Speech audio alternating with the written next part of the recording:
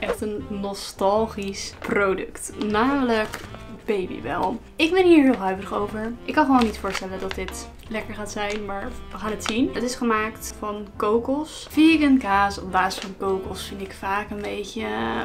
Nee, dat is het wat mij betreft niet. So cute. Kan iemand me uitleggen waarom überhaupt dit plastic hier omheen zit? Oh, dit is echt... Ik heb dit zo lang niet gedaan. Ik vond baby wel vroeger wel lekker. Het was echt iets wat, ik dan bij mijn oma had, zeg maar. Mijn ouders kochten dat zelf echt nooit. Het is ook echt achterlijk duur. Zo'n zak was 3 euro nog wat volgens mij. Het ruikt wel echt ernaar. Het voelt wel echt een stuk harder dan ik me herinner. Het heeft niet heel veel smaak. Het is een beetje zoutig. Ik vind het niet per se lekker. Het smaakt een beetje naar van die plakken cheddar cheese. Zeg maar die textuur heeft het een beetje van die goedkope plastic kaas bijna. Het is vooral heel zout en het heeft dus een beetje een soort plastic kaas nasmaakje. Ik ben er niet zo fan van. Ik vond het gewoon leuk om het even een keer te proberen. Het is niet zo snel iets wat ik nog een keer zou kopen. Oh, nu kan ik dit lekker gaan kneden. Het is echt super donker buiten ineens. Volgens mij gaat het zo heel hard opweren. Ik heb net gesport. Ik heb iets gekocht wat ik normaal nooit koop. Namelijk een proteïne yoghurt. Eén bakje kostte 3 euro. Ik vind dat heel erg prijzig. Mijn video's gaan nooit over diëten, voedingsadvies, etc. Ga ik nu ook niet doen. Het enige wat ik even ga doen is het vergelijken met een gewone Alpro yoghurt qua ingrediënten. En daar mag je vervolgens lekker je eigen conclusies uit trekken. Ik hoef ook geen advies over vegan zijn, eiwitten. Eén zo'n bakje is 200 gram en er zit dus 20 gram eiwit in. Even vergeleken met gewoon de normale Alpro yoghurt. Deze is ongezoet. Hier zit 8 gram eiwit in per 100 gram. Dus dit is wel echt veel meer. Maar als je dan bijvoorbeeld weer kijkt naar suikers. Hierin zit 9,8 gram suiker. Hierin zit 0. Dus hoger in suikers, maar ook hoger in eiwitten. Ik ben heel benieuwd. Oeh, hij is best wel puddingachtig. Wow. Ik had verwacht dat het veel zoeter was. Het smaakt wel echt naar chocolade, maar het is gewoon niet zo zoet. Ja, ik vind dat heel chill, want ik vind heel vaak van die yoghurtjes best wel zoet. Mmm. Het eiwit dat erin zit is op basis van soja. Als we kijken naar de prijs, zou ik het dus niet zo heel snel opnieuw kopen. Maar los daarvan vind ik dus heel chill. Ik kan me ook voorstellen dat iemand anders het misschien niet goed genoeg vindt. Maar ik was dus een beetje bang dat hij gezoet zou zijn op basis van zoetstoffen. Want dat zie je ook best wel vaak in een beetje meer uh, fitnessproducten. En ik vind dat soms een beetje zo'n gek nasmaakje geven. Maar dit is dus gewoon met suiker. Is gewoon een kwestie van smaak. Vult ook wel lekker. Ik had best wel een beetje trek.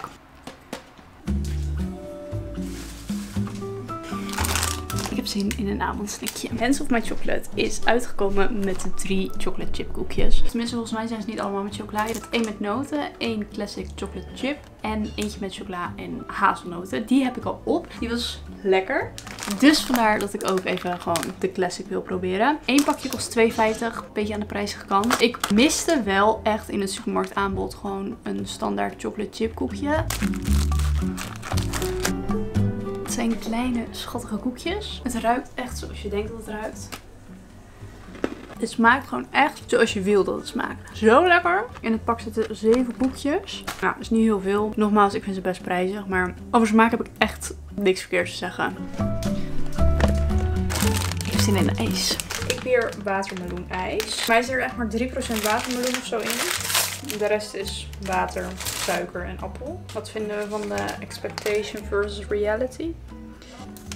Lijkt wel een soort chocola. Is ook chocola.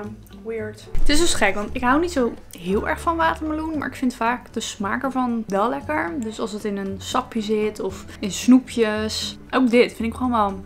Dit vind ik best lekker. Het is niet helemaal waterijs. Het is iets romiger lijkt het wel. Ik vind het wel lekker. Het maakt een beetje naar watermeloensnoepjes. Ik weet niet of ik dit kan laten zien, maar kijk, het is dus eerder meer een soort zacht creamy structuur dan echt van dat harde waterijs. Ja, ik vind dat heel lekker. Dit onderste is een soort zuur appelachtig ijs. Ik vind het heel nice. Ik vind het eigenlijk lekkerder dan ik dacht. Albert Heijn heeft tegenwoordig muesli-repen met zoetstof in plaats van suiker. Ik moet zeggen, ik vind zoetstof toch vaak een beetje een gek smaakje hebben. Maar eigenlijk was ik juist alleen daarom al heel erg benieuwd hoe dat dan is in zo'n reep. En ik hou wel heel erg van de combinatie chocolade-kokos. Oh, het ruikt wel echt heel erg lekker. Echt gewoon door chocolade en kokos.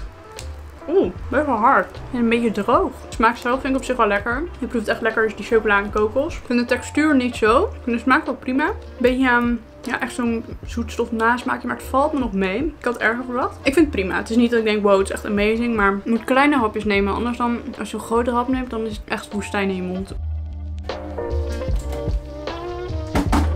Er is dus nu ook een vegan Philadelphia. Volgens mij heb ik nog nooit Philadelphia op. Dus ik kan niet gaan beoordelen of dit smaakt naar de niet-vegan Philadelphia. Maar ik kan natuurlijk wel zeggen of ik het lekker vind of niet. Er zitten eigenlijk niet zo heel veel ingrediënten in. Dat vind ik wel interessant. Er zit water in, kokosolie, amandeleiwit, haverzemelen, zout, stabilisator en veganistische fermenten. Het ruikt een beetje yoghurtachtig of zo. Ik heb het echt zo warm. Het is 31,5 graden binnen. Maar oké. Een kontje brood. Volgens mij zijn er ook mensen die Philadelphia in pasta saus en zo gebruiken. Daar gaan we. Lekker fris. Ja, het is echt een beetje yoghurtachtig. Fris, licht zuurig. Niet heel uitgesproken. Ik denk dat het ook heel lekker is onder ja, vegan zalm of zo. Dus dat je een bagel eet met dit en dan uh, vegan zalm. Dat maak ik vaak van wortel. Ik zal wel even een receptje in de beschrijving onder deze video zetten. Ik vind de textuur moi. Ik vind hem een beetje waterig. Zeg maar als je hem hebt uitgesmeerd en je neemt een hap. Dan wordt het heel snel waterig. Bijna alsof het soort smelt. Dat komt denk ik door die kokosolie. Dat vind ik matig. Ik vind het niet vies. Ik weet niet of ik het zelf echt heel snel nog een keer zou kopen. Ja, misschien dus als ik een keer zin heb in een bagel of iets. Maar het is denk ik niet iets wat ik echt standaard op brood zou eten. Dan heb ik nog een broodbeleg. Namelijk deze vegan chocopasta van Albert Heijn. Er zijn verschillende vegan chocopasta's in verschillende supermarkten. Deze, de goedkope duo panotti van Albert Heijn is ook vegan. Deze koop ik meestal. Maar ik ben hier ook wel erg benieuwd naar. Ik ben zelf niet per se echt een chocoladepasta eter. Ik eet het eigenlijk alleen op rijstwafels. Het is niet dat ik echt een Nutella fan of iets ben. Maar misschien als je dat wel bent, is het wel heel interessant. Omdat het natuurlijk ook met hazelnoten is. Er zit maar liefst 13%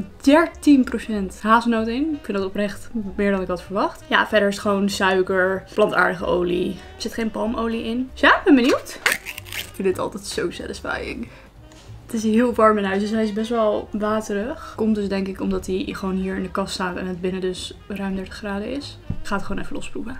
Mmm, heel lekker. Ik proef ook wel echt die hazelnoot. Voor mijn gevoel komt het echt heel erg in de buurt van Nutella. Maar nogmaals, ik ben niet echt per se Nutella fan. Ik vond dus altijd de vegan chocopasta van So Fine heel erg lekker. Alleen die potten zijn echt bijna 4 euro. Deze is 3 euro. Is echt een stuk goedkoper. Is natuurlijk nog steeds wel prijzig. Ja, en wat ik wel jammer vind is dat de niet vegan chocopasta is dus 1,69. En deze is echt 2,99. Ja, dat vind ik gewoon echt zonde. En dan denk ik, kom op Albert Heijn. Maak het gewoon even duur. Of misschien zelfs deze nog goedkoper. Ik vind deze wel echt super lekker. Ik heb maar liefst drie zakken chips. Ik weet niet of het slim is als ik dit allemaal tegelijk ga openmaken. Maar ik ga het toch doen. Dit is dus honing mosterd. Maar er zit dus geen honing in. Want het is vegan.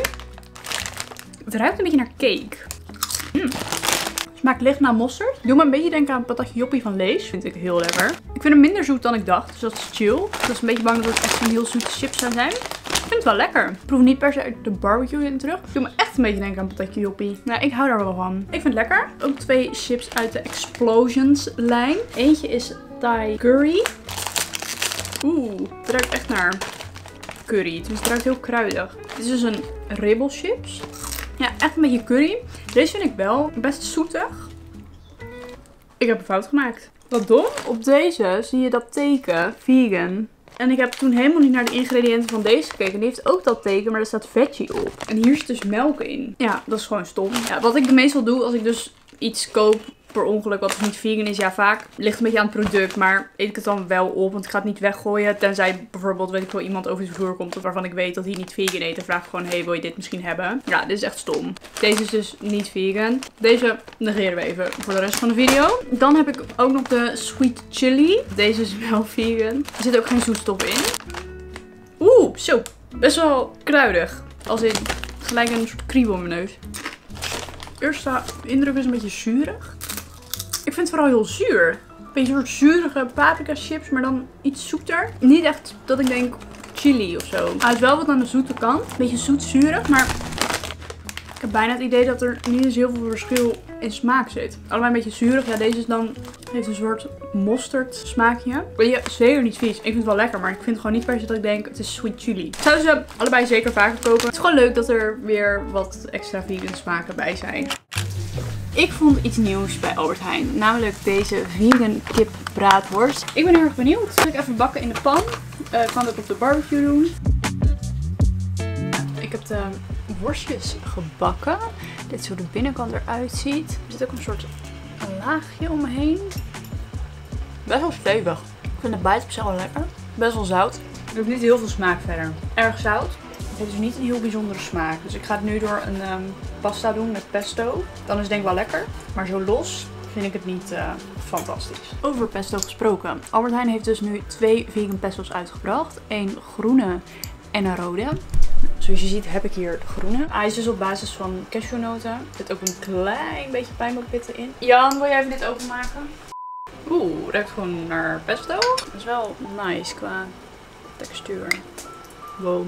Oh, heel lekker. Ik denk echt serieus een van de beste vegan pesto's die ik uit de supermarkt op heb. Ik had deze laatst ook voor het eerst. Die is toch een stuk droger of zo. Is ook zo zout. Echt niet normaal. Deze is ook wel zout. Maar gewoon ja, iets minder zout. Lijkt ook wat kaasgestellen. Echt heel lekker. Heel nice combi. Ik ben bij de Maarsvinse Plassen en ik ga even een snackje eten. Fairy Tales heeft dus nu verschillende repen uitgebracht. Eventjes die met pinda en pretzel eten. Mm. Is niet zo zoet. Dat is wel lekker. Er zit ook cranberry in. Ik vind wel lekker. Ik kan wel best wel prijzig. Ik weet niet of ik de pretzel smaak er echt uit zou halen. Maar het heeft wel af en toe iets licht zoutigs. Verder is het gewoon zoet. En een beetje karamelachtig. Ik vind het wel lekker. Mocht je deze video nou leuk vinden, zou je hem dan een duimpje omhoog willen geven. Dat helpt mij heel erg met het groeien van mijn YouTube kanaal. Want hoe meer interactie er op een video plaatsvindt, hoe meer YouTube de video zeg maar weer aanbeveelt bij andere mensen. Dus als je deze video een duimpje omhoog zou willen geven of een reactie achter zou willen laten, zou ik dat super lief vinden. Anyway, we gaan nog even twee producten proeven. En ik ga beginnen met weer een uh, muesli reep. En dit is dus de banaansmaak. Ook van No Fairy Tales. Oeh, hij ruikt best wel bananig. Mmm, deze is echt heel lekker. Lekker zoet, lichte banaansmaak. Lekker knapperig, maar ook smeuig. Ik vind deze echt lekker. Het lekkere aan die pretzel vond ik dat er ook af en toe een soort zout iets voorbij kwam. Ook wel lekker als dat hierin zou zitten, denk ik. Maar als je van zoet houdt, is het top. En dan heb ik nog deze kokoskoekjes van Verkade. Je hebt van Verkade dat standaard kokoskoekje met suiker erop. Die vind ik zo lekker. Ik hou echt van kokos. Ik heb hier zoveel zin in, want ik hou dus van de combinatie van kokos en chocola. Dus ik kan me echt voorstellen dat dit helemaal mijn koekje wordt. Dit is hoe het eruit ziet. De chocola zit dus alleen aan de voorkant. Er zit een heel klein beetje suiker hier, maar het valt wel mee. Ik vind het gewoon echt top. Dit is zo lekker. Kokos, chocola, knapperig, love it. Mochten er nou nog vegan producten in de supermarkt zijn waarvan je wil dat ik ze een keer ga testen, laat ze vooral weten in de comments onder deze video. Ik wil je heel erg bedanken voor het kijken en hopelijk tot een van mijn volgende video's. Doei!